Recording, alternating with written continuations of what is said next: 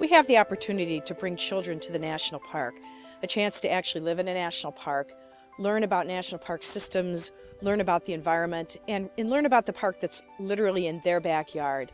They have a chance to enhance their skills in the sciences, in math, in reading, in writing. They learn about the history of the Cuyahoga Valley.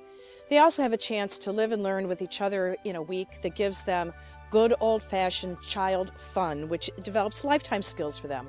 Being outside, being able to be uh, running on the grass. Um, this time of year, the chance for kids to play in the snow.